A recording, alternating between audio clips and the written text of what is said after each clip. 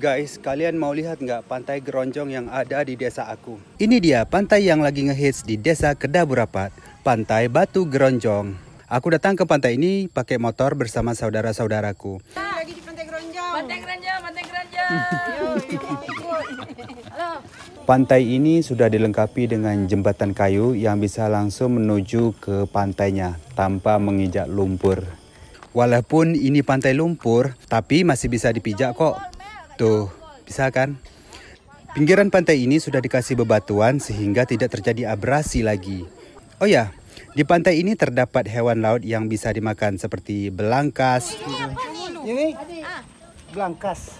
Ada Foto bang, foto bang, foto warna foto di dalam dia yang, yang telurnya. Yang telur ni, nampak ni. siput, nih.